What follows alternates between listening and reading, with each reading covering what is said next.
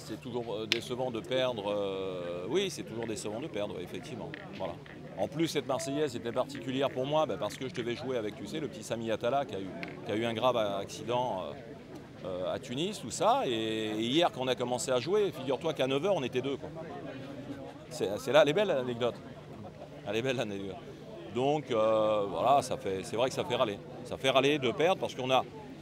J'aurais voulu qu'on passe encore un jour ou deux. Voilà, c'était bien.